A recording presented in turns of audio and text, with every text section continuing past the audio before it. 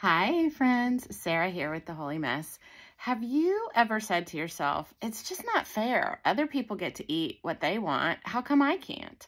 Or when am I just going to be like a normal eater and just be able to eat what I want when I want?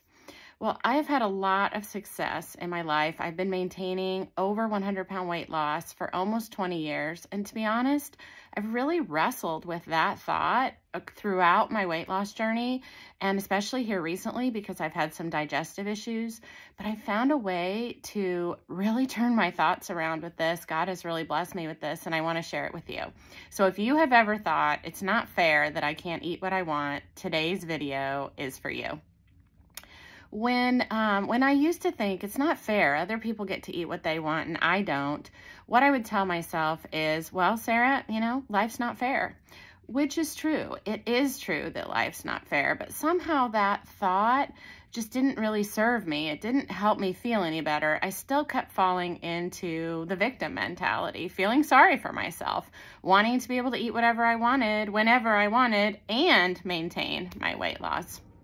So what I have come to here recently is that whenever I think it's not fair that other people get to eat what they want, and maybe even a little more specifically, it's not fair that other people get away with eating whatever they want, I've come to realize that's not true. They're not getting away with eating whatever they want. They're not. Listen to these statistics, and what I'm about to share is a pretty harsh reality, but um, it's the truth, and I feel like it needs to be said. People who are eating whatever they want in today's culture in first world countries and in the amounts that they're eating them, they're dying. They're sick. They are choosing an earlier death for the benefit of eating junk food that tastes good and eating it in unlimited quantities.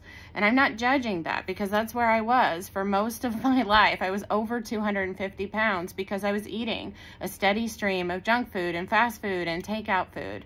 But I was also choosing to, to cut years off my life if I didn't turn that behavior around. This is from the National Health and Nutrition Examination Survey, and this was from 2018, the most recent statistics I could find. So I'm sure that the numbers are actually even higher now.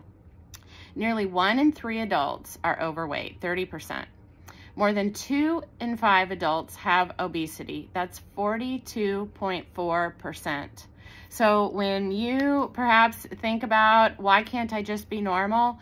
You don't want to be normal. Normal is overweight. Normal is obese. Normal is sick. Normal is not healthy in today's culture.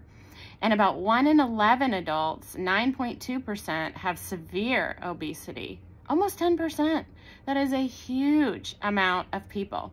Diabetes is on the rise. Heart disease is on the rise. Metabolic syndrome is on the rise people are not healthy who are eating a steady stream of junk food and fast food and all of those foods that we look at and think, why can't I just eat that? The reality is that you can eat that, but no one can get away with eating that and be healthy. Now you might be thinking, I know some people who are at a normal weight and uh, they aren't having any consequences, but that's not true either. Just because you're at a normal weight doesn't mean that you feel good. I think that so many people in our culture don't feel good, but because they've eaten this way for so long, they don't know what feeling good really feels like anymore. They don't remember it or they haven't experienced it. I know for me, um, I still eat fast food and junk food and stuff sometimes, um, but when I do that for a couple days, I really don't feel good. And then when I get back on track, it's like, oh, this is what feeling good feels like. This is why I eat a different way. I still enjoy treats, and I think treats are a really important part of a healthy weight loss journey. I encourage people who go through my programs to eat treats on a regular basis so that you don't binge on them later, but not all the time. They are not part of my diet all the time or the majority of my diet the way that they used to be. There is no possible way I can maintain a 100 pound weight loss still eating junk food and fast food and processed food regularly. The majority of my diet is real whole healthy food and then I eat some treats sometimes. I eat vegetables every single day, almost always every single meal, and they're the first thing I eat at that meal because that is what makes me feel good and be able to maintain this weight loss. You are choosing something different. I know that you are because you're watching this video. So would you type in the comments, I choose different. The truth is, it is hard. It is challenging. Give yourself some grace and compassion. It's tough when other people around you are eating foods that truthfully taste really good. Those foods do taste good. They're engineered to taste good. There are scientists who spend their whole entire career making sure that those foods taste good so that we will buy more of them. That's the whole point of processed food and fast food and junk food is to try to get you to eat more of it. That's the company's jobs is to sell more. So of course it tastes good. It's supposed to taste good. Plus, as human beings, we are naturally drawn to the highest calorie foods in our environment. That's just a biological reality of how God made our bodies to help us survive. It's just that in today's culture, those foods are so readily available, they're affordable.